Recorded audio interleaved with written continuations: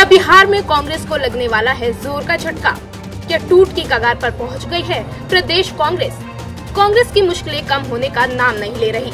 Party अभी गुजरात इकाई में टूट के सदमे से उभरी भी नहीं थी। कि अब पार्टी को बिहार में ज़ोर का झटका लगने वाला है? खबर के मुताबिक प्रदेश इकाई के कई विधायकों ने पार्टी का दामन छोड़ने का मन बना लिया है। सूत्रों से मिली जानकारी के मुताबिक कांग्रेस के करीब 10 से 12 विधायक पार्टी को बाय बाय कहने के लिए बकायदा तैयार भी हो गए हैं।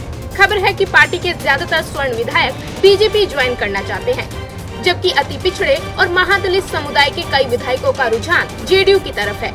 बगावत करने वाले विधायकों की फेरिस्त में विधायक दल के नेता सदानंद सिंह का नाम भी बताया जा रहा है। पार्टी में टूट की खबर से नाराज़ कांग्रेस आलाकमान ने प्रदेश अध्यक्ष अशोक चौधरी और सदानंद सिंह को दिल्ली तलब किया है।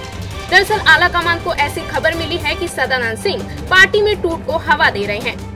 और उनके आवाज़ पर नाराज़ विधायकों की लगातार बैठक भी हो रही है।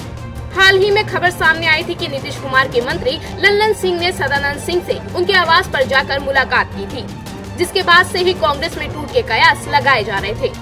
हालाँकि लल्लन सिंह और सदानंद सिंह ने मीडिया के सामने इस बात से साफ़ इनकार किया था, लेकिन इस बार फिर से कांग्रेस में संभावित टूट की खबरें सामने आने लगी है। आपको बता दें कि बिहार में कांग्रेस के फ़िलहाल 27 विधायक हैं। ऐसे में अगर पार्टी से 10 से 12 विधायक भी टूट जाते हैं तो पार्टी के लिए किसी झटके से कम नहीं होगा इंडिया न्यूज़ वायरल की रिपोर्ट